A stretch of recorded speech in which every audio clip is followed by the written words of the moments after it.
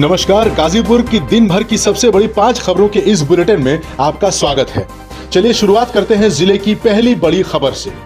Police स्मृति दिवस के अवसर पर बुधवार को पुलिस अधीक्षक डॉक्टर ओम प्रकाश सिंह ने पुलिस लाइन परिसर में स्थित शहीद स्मृति स्थल पर शहीद जवानों को याद कर भावभीनी श्रद्धांजलि अर्पित की। इसके बाद राज्यपाल आनंदीबेन पटेल, मुख्यमंत्री योगी आदित्यनाथ तथा डीजीपी हितेश चंद्र अवस्थी जी के संदेश को पढ़कर सुनाया। शोक सलामी दी गई। पुलिस अधीक्षक ने यूपी के शहीद जवानों का नाम व पूरे भारत में शहीद हुए जवानों की संख्या को पढ़कर सुनाया। इसके उपरांत उनके द्वारा शहीद जवान के माता पिता को शॉल भेंट कर सम्मानित किया गया। इस अवसर पर सदर सीओ ओजस्वी चावला, आरआई और अन्य अधिकारियों के साथ ही पुलिसकर्मी मौजूद रहे।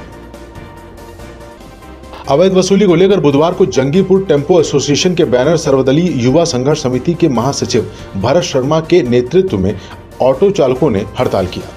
बैरियर मोड़ के पास ऑटो खड़ा कर नगर चेयरमैन विजय लक्ष्मी गुप्ता के खिलाफ जमकर नारेबाजी की। इस मौके पर भरत शर्मा ने कहा कि शासन द्वारा नगर पालिका सहित नगर पंचायतों में हो रहे पार्किंग वसूली को बंद करा दिया गया है। फिर भी टेंपो चालकों से ज़बरदस्ती ठेकेदारों व नगर चेयरमैन की मिली भगत से प्रति चक्कर दस रुपया अवैध वसूली की जा रही है। चालकों द्वारा विरोध करने पर ठेकेदार आए दिन मारपीट कर रहे हैं। चेतावनी देते हुए कहा कि नगर पंचायत द्वारा अगर जल्द से जल्द वसूली नहीं रुकती है तो टेंपो चालक आने वाले दिनों में नेशनल हाईवे 29 को जाम करेंगे, जिसकी सारी ज़िम्मेदारी जिला प्रशासन सहित नगर पंचायत की होगी। अंत में संघ के पदाधिकारियों ने सदर एसडीएम को पत्रक सौंप वसूली बंद कराने की मांग की है। इस अवसर पर गोपाल यादव, सोनू, राजकुमार पांडे, हरिकेश, सुनील भोलू, मनोज सुरेंद्र आदि चालक मौजूद रहे। समाजवादी पार्टी के संस्थापक सदस्य एवं सांसद मोहम्मद आज़म खान की रिहाई की मांग को लेकर एक पखवारे से चल रहा हस्ताक्षर अभियान। जिलाध्यक्ष रामधारी यादव के नेतृत्व में बुधवार को जिला मुख्यालय स्थित समाजवादी पार्टी के कार्यालय समता भवन के नीचे चलाया गया। जिलाध्यक्ष ने बताया कि यह हस्ताक्षर अभियान विजय दशमी पर्व तक चलेगा। दस हज़ार हस्ताक्षर अब तक हो चुके हैं। विजयदशमी पर्व के पश्चात हस्ताक्षर फॉर्मेट को जिलाधिकारी के माध्यम से राज्यपाल को भेजा जाएगा।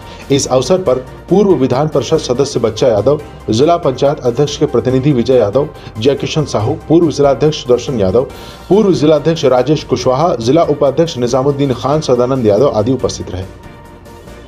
मर्दा थाना क्षेत्र के गहली बसरिखपुर गाँव में बुधवार की सुबह कच्चा मकान के धरन में साड़ी के फंदे से संदिग्ध अवस्था में एक विवाहिता का शव लटकता मिला। जानकारी के अनुसार गहली बसारिखपुर गाँव निवासी विजय कुमार की शादी मऊ ज़िले के अदरी इंदिरा थाना के हलधरपुर निवासी कंचन उम्र 26 से 25 मई 2014 को हुई थी। बुधवार की सुबह कंचन का शव मकान के धरन से साड़ी के फंदे से लटकता मिला।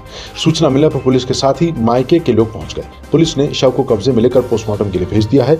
घटना को लेकर लोगों में तरह तरह की चर्चाएँ हो रही है। लोग अपने अपने नज़रिए से घटना को देख रहे हैं। इस संबंध में क्षेत्राधिकारी महिला पाल पाठक ने बताया कि मृतका के भाई दीपू कुमार की तहरीर पर शव को कब्जे में लेकर पोस्टमार्टम के लिए भेज दिया गया है। पोस्टमार्टम रिपोर्ट आने के बाद आगे की कार्रवाई की जाएगी।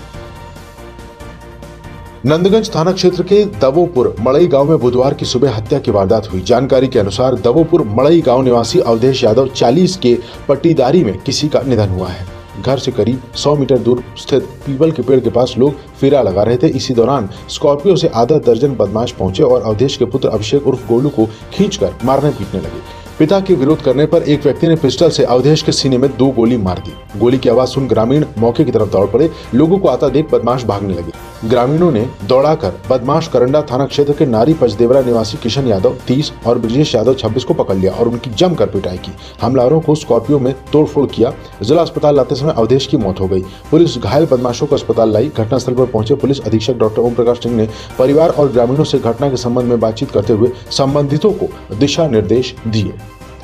गाजीपुर की ऐसी और भी खबरों के लिए हमारे यूट्यूब चैनल को सब्सक्राइब करें और बेल आइकन को ज़रूर दबाएँ।